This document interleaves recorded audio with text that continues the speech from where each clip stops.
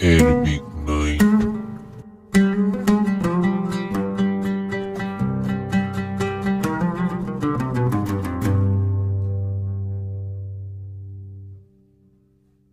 thank you